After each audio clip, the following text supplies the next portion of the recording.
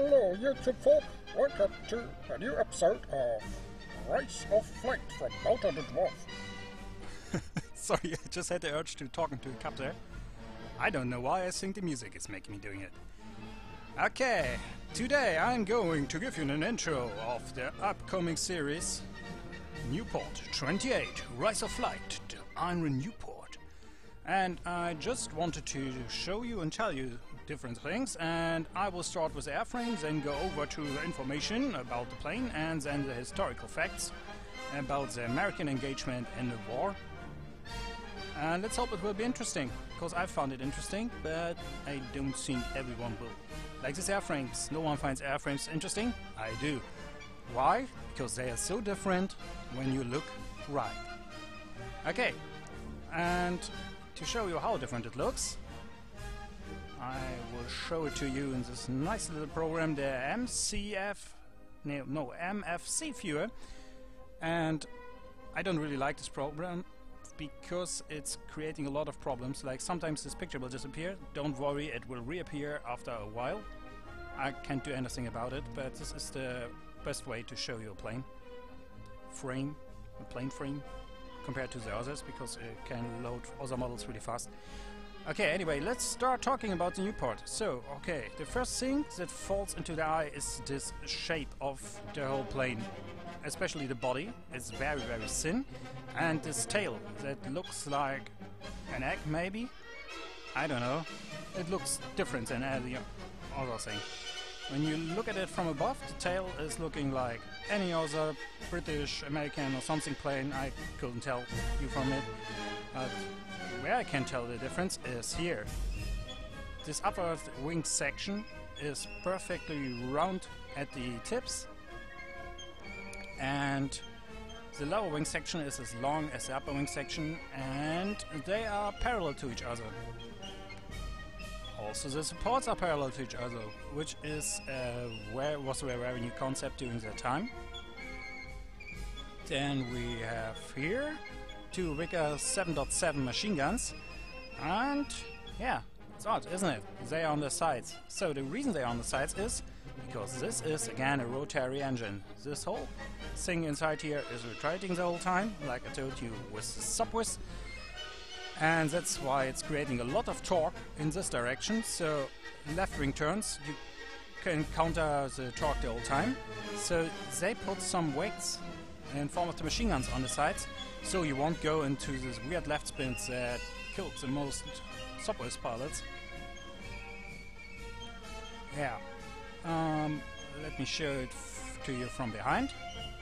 Nothing really interesting there.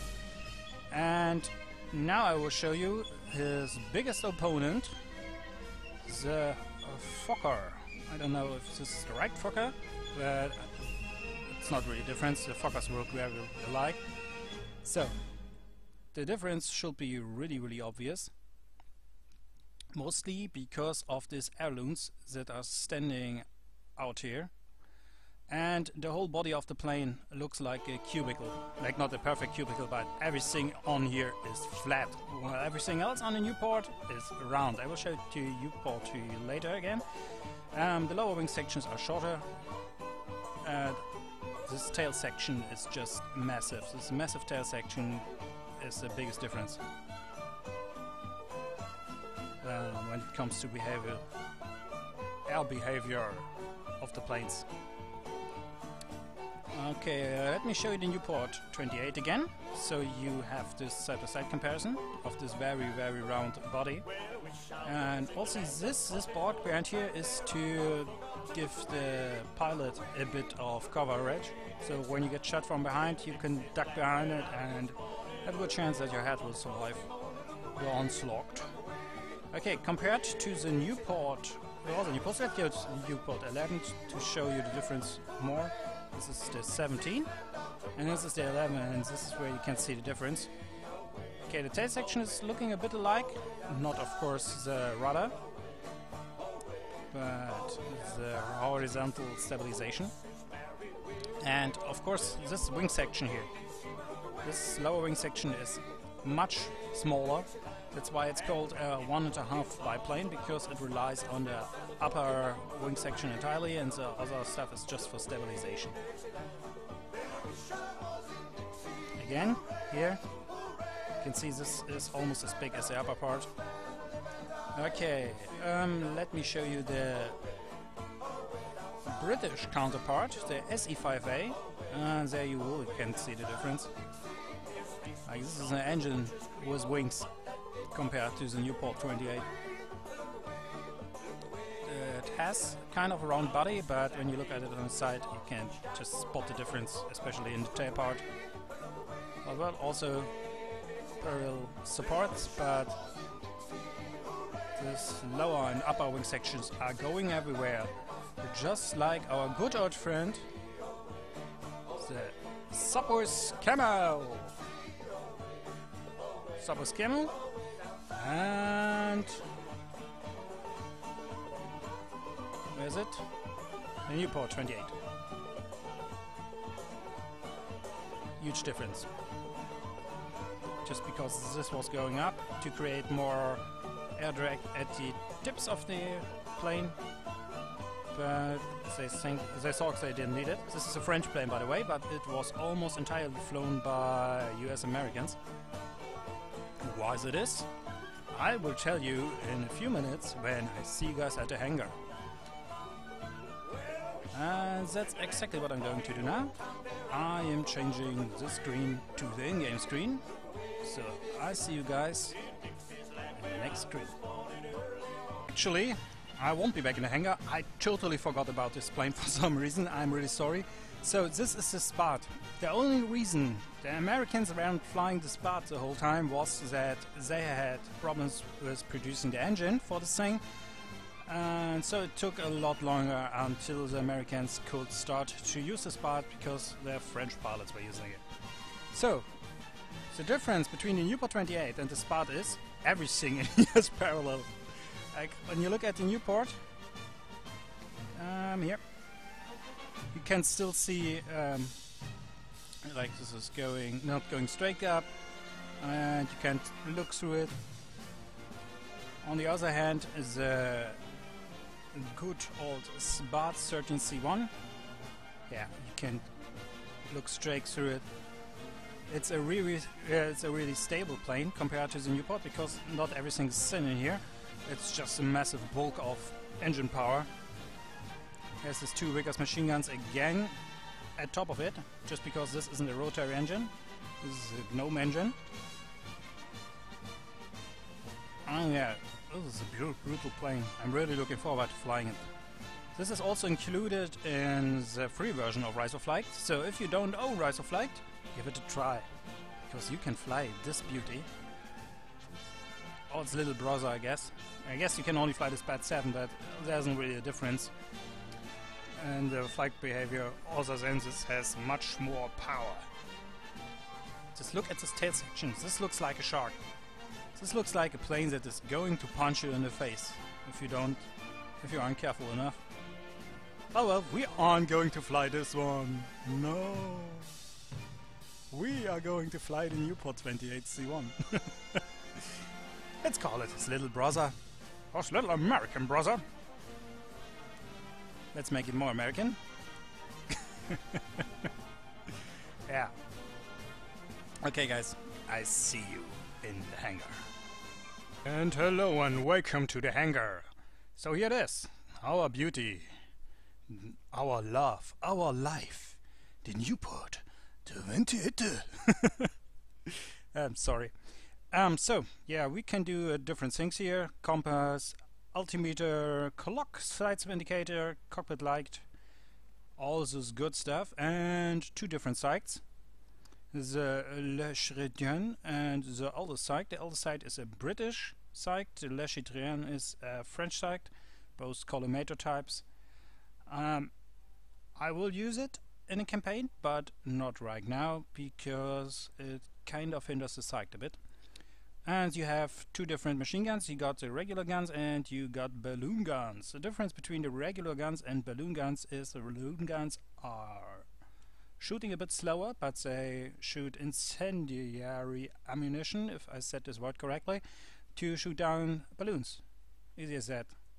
Okay, the rest is just scars again and a bit of history about the Nieuport 28. Not very interesting one. And all of that good stuff I'm going to tell you during the flight. Like last time, I think that was uh, quite a good idea to do it this way.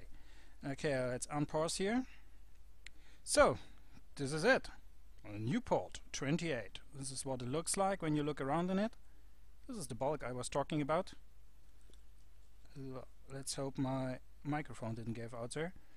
And I can duck under it.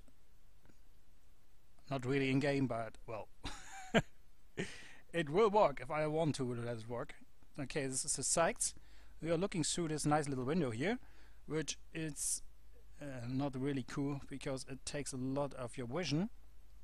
But I guess in reality it will also hinder you from oil splashing in your face and shards of metal coming through your brain when you shoot at someone right in front of you. This is looking, this is how it looks at the side. And also I can still lean a bit back around here. Normally the pilot will of course sit right next to here, but I enjoy vision.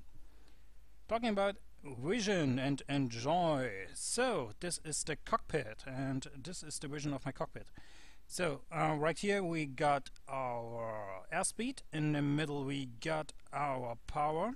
Oh, I really really hope this microphone isn't giving out here because I have to move it a lot. Okay, this in the middle here is the power, uh, the RPM. This is the height. I really dislike this height size. Uh, height size. I really dislike this this height measure instrument because it's really hard to see stuff. Uh, this is just an in-game problem. Then we got our ignition here, and this is very interesting. You will see later why. We got our mixture, and our watch, and the banking indicator, and my favorite, the blip switch. Rudder pedals, compass, everything in here is like you would expect except for the machine guns that are around here. You can also use the sight of the machine guns by the way, but um, I really prefer using the regular sights in here. Okay, so this is a lamp by the way. Can I switch it on? No, because it's day. Oh yeah, and the oil. This is the oil indicator. If this is broken, I have a problem. Behind it is of course the fuel. Okay, so let's start the engine and see what is happening here. First off, let's turn on the mixture to 100% and start. Okay, so first off, in reality someone would run up there and pull the propeller down, then let it go. Let it rip. The pilot engages the ignition. Okay, and the engine is running. So during the takeoff I will pull up the audio fully not fully because this will blow your ears off but a lot more. And you pay attention to the sound it is making. Because it's a very interesting sound. It sounds like angry bee. And let's go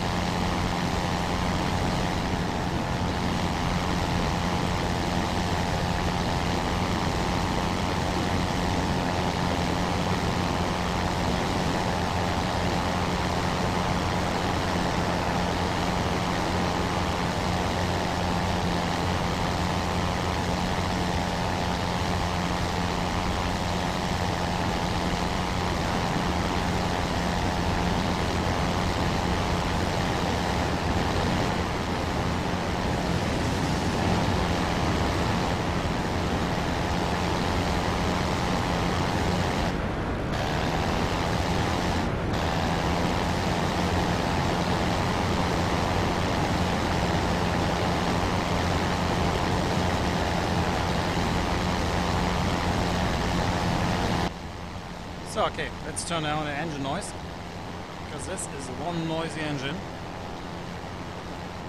So, um, like I said, the interesting part lies in here.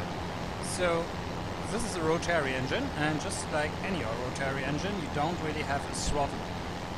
You just have different states of how much cylinders are ignited when they fly past, past the magnetos. So, this is full speed, and I can down to 3. I can down to 2. Second. I need to catch my engine here. Okay, I can down to 2. So the pilot switches between 2 and 4 the whole time to keep the engine running. And this is 1. This is basically idle. And this is what happens when I'm pressing the blip switch. Again, this is like a clutch in a car. See how smooth it runs? I can shoot a lot of stuff while I'm doing this.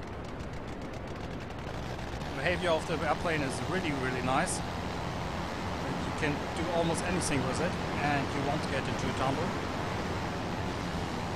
Which makes it very stable, but also um, can do crazy maneuvers like with the Sopwiths or with other planes. And you have to rely on reversals a bit. And if you have low airspeed like I do right now, um, it's a bit hard to roll around.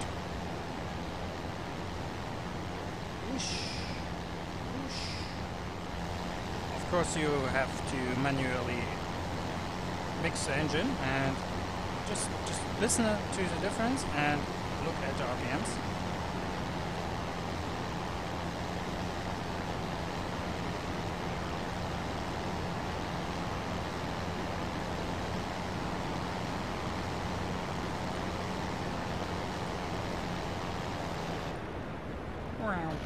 And that was it.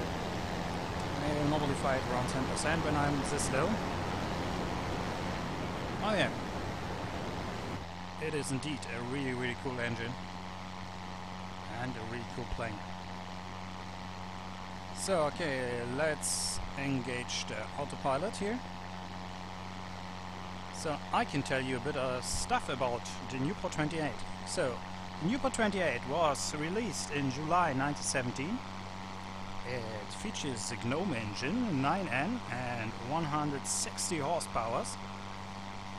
Like I said, it was the counterpart to the French X stroke, stroke, stroke, also known as the Spad 13. It was the first plane of the American Expeditionary Force, short AEF. Um, they have flown around 287 machines. The first aero squadron that received it was the 94th. This is, the emblem of the 94s, And yeah, like I said, it was really out of date when Americans start flying it, but well, they needed to wait for the Spad X8. It's also had always had a positive KD ratio, but you have to kill, uh, keep in mind that kill-death ratios aren't really saying anything in combat during World War One, just because you never know how many planes were up against how many planes and who had some more experienced pilots. Uh, that's a lot more difficult to find out. Um, it is more agile than the Spad, uh, but the, in real life it had engine problems, like the engine cut out and just died and the line coverage wasn't really well st stuck together like this line cloth all over the plane over a wooden structure.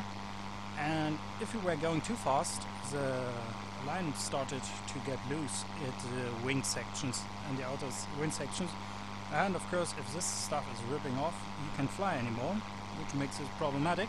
An American pilot it, found it out after a test flight, but he was able to land the machine and tell his friends about it. Which I don't think was really helpful. Uh, which, which I think was really helpful for them, but not very helpful to morale. I wouldn't want to sit in a plane that is doing weird stuff that you can't control. So, the best known aces are Quentin Roosevelt, which is the son of Theodore Roosevelt, and Eddie Rickenbacker. He had 26 kills. And Mr. Rickenbacker was a race driver before he has gone to France to start his career as a fighter pilot. I think it's really interesting, and I guess we will meet Mr. Rickenbacker during our Let's Play, and during our tour across the French lines. So, it has this two Vickers 7.7, like the Sopwith Camel, and like the Sopwith Camel, I, I really never feel like I am shooting a huge caliber at enemies, but you will see the damage when it's done. The maximum speed of this thing is 190 uh, 198 kilometers an hour, so it always flies about 200.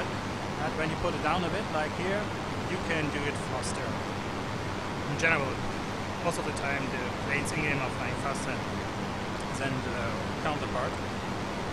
And its service ceiling is around 5,300 meters, so you can fly really high with this thing, and you should, because it behaves like a dream when you're high above the enemy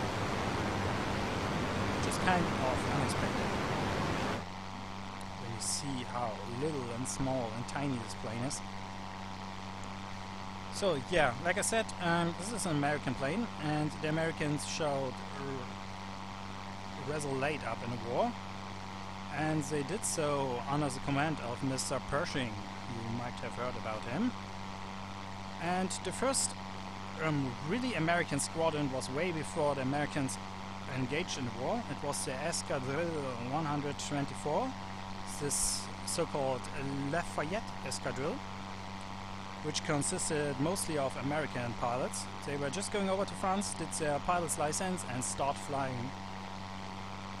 Um, yeah, it was all, all of them were volunteers, not a single soldier or airman under them. Mostly because air warfare wasn't really a thing before World War One. People were uh, considering it just only to spot enemies. Like even Napoleon had balloons to see where his artillery shits, uh, shells were hitting. shits, where his artillery shells were hitting. But only in World War One, um, real aerial warfare took off to shoot down these balloons and take pictures of the enemy trenches. And yeah, that's why pilots weren't really a thing, just came there later down the wall. Back to Lafayette. So it was named after Marquis Lafayette, which was an American hero during the American wars with France, I guess. And the reason why so many Americans were going overseas to fight there was to get the civil. What's happening here? I can't go into first person mode anymore. I don't know why that is. And I can't control the camera either. That's interesting. What? I don't know what happened here. I'm sorry. The game bugged, I guess. Okay, so I will just show you this area a bit and tell you the rest of the stuff I found out. So the Escadrille Lafayette was also called Escadrille American.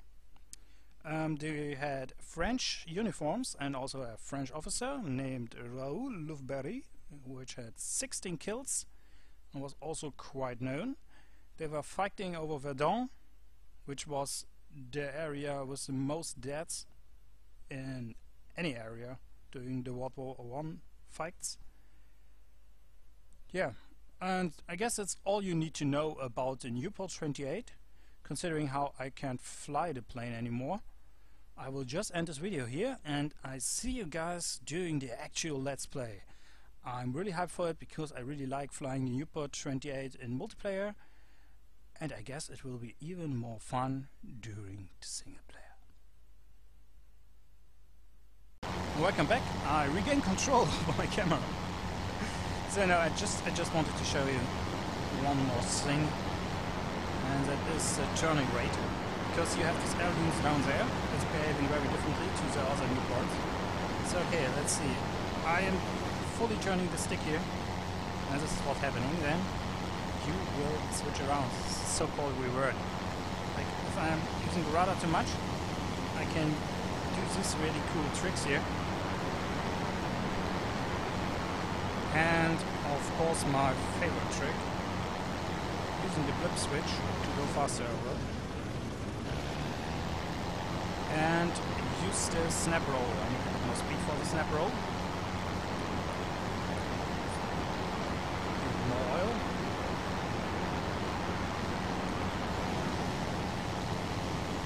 Yeah, the snap roll is not as quick as with the camel, of course. Just because well, it's not a camel. But like I said, it's flying a lot more stable and it's a lot more fun to fly around with this thing. Because you don't have to fight your plane the whole time. Just because you want to do uh, faster turn. Uh, it's fighting machine guns at something. I think uh, there is no car around here. Sometimes the game is spawning cars in the general direction. So let's just aim at this tree. And with the blip switch. Like I said, this fires like a dream. Great plane. Let's land it. Right on this field. Because landing is the only thing where I got a problem. Because I really don't like landing in rotary engines has weird behavior once you land it. Yeah, like it's pulling you around everywhere on the ground. And I did my known flip. I don't know why this keep happening. I'm, I'm just going too fast and I don't have the patience. So anyway, with this nice picture, I'm ending this intro and I see you guys during the campaign.